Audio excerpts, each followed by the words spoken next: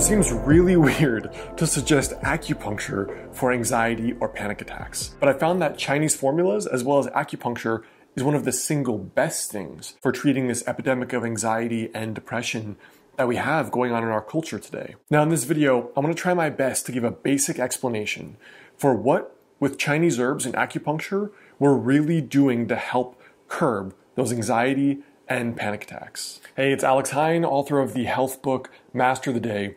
So I've included the free link down below this video. That first link is for a free guide, five daily rituals that can help you add 10 years to your life with traditional Chinese medicine. And it's a case study of this guy named Li Qingyun who had an unusually long life by doing certain practices. You can check it out right below this video. So the first way to kind of visualize and conceptualize anxiety, technically it's your kidneys in Chinese medicine, that are basically where your body's battery is.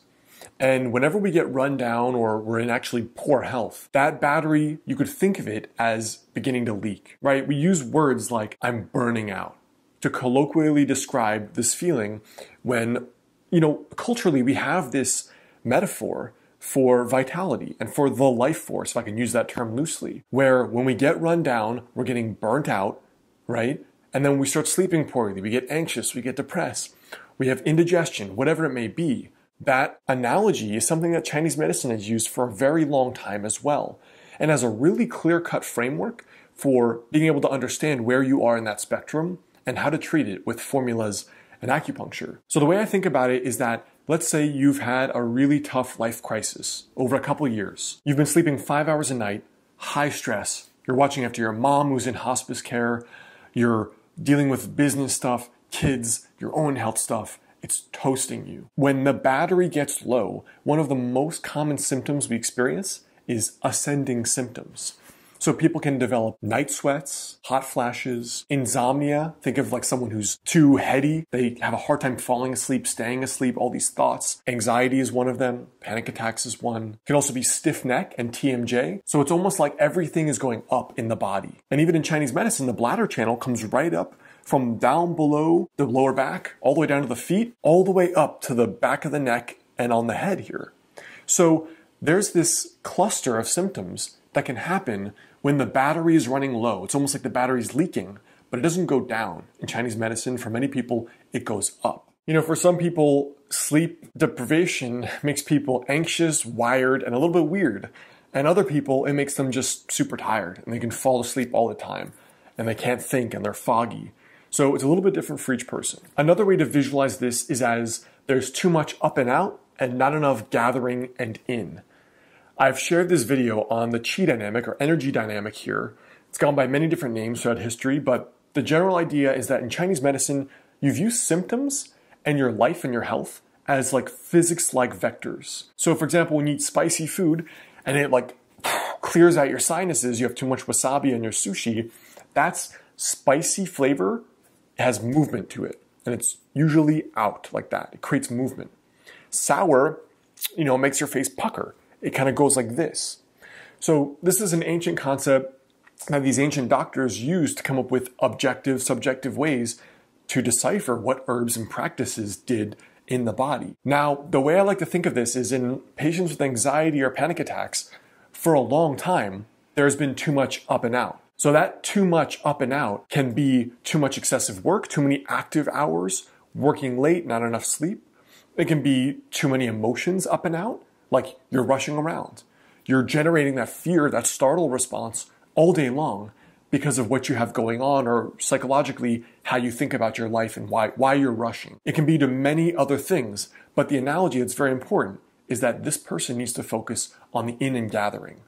And the way I think of it is the hot cocoa analogy. So the in and gathering hot cocoa analogy is really simple. If you've ever been skiing somewhere very cold in winter and you come home, you're tired, you're cold, and you sit on your sofa watching a nice Christmas movie, drinking hot cocoa by a warm fire with a blanket on you, and you feel like you could fall asleep at any moment, that's the feeling you want to try your best to generate via your external habits or your life or whatever practices internally help you feel that way because in the anxious or person with panic attacks, there's, it's going like this all the time. But frequently, it was going like that for years. And now, even though you don't have that lifestyle, the body still does this. And it can be for a long time. before it reins itself back in without treatment. So you want to try to find that hot cocoa analogy and practice in your life, whatever that may be. Whether it's working less hours, whether it's a sabbatical, whether it's getting a massage, try to generate that down and in cozy blanket, hot cocoa by the fire feeling. Now, I don't want to leave you in this video, you know, high and dry without some practices you can actually do. Now, there are three things I recommend for people with anxiety or depression. The first one is time in the woods, nature, or outside. Now, one of the most interesting things I observed personally was that you can feel intensely lonely in an apartment or in a city filled with people if you're living in your own apartment with no interaction. But it's uncommon to feel super lonely or alone or isolated when you're out in the woods alone. So I think humans have developed this kind of protective quality in nature because that's where we've come from and where we've evolved. So I found that for many people, an hour a day in the woods or even walking in the neighborhood, looking at trees and feeling the sun in your face has a very protective response. The second thing is actually physical touch and affection. It's something really, really interesting, the emotional or the social nervous system, where people are starved for connection, but also really starved for physical touch. So if you have, you're in a relationship and you can get physical touch, then that's great.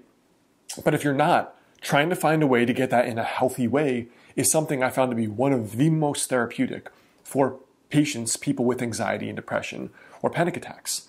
Now, obviously, acupuncture or body work is one of the ways to do that. The third way is probably the most fun, and it's very simple it's getting a dog. You know, when you get a dog, you have to spend time outside. You spend time in your body, you're playing with them, you're laughing, you're having fun once they're trained. And in general, the process of getting a dog once they're behaved is a lot of affection, physical touch, companionship, and you're getting out, you're getting activity, you're getting movement in your life, and it's it's play is really what it is. So those are my three action steps in terms of, you know, things you can do, but of course I recommend seeing someone who knows Chinese formulas and acupuncture because I've experienced it in my own life. Now I also have patients with those conditions a lot. So I hope that helps. Again, check out that first link below this video. That's going to show you exactly some practices you can do to help really build your resources and extend your lifespan and just be healthier. So check it out below this video. And before you go, I have two related videos you might like here.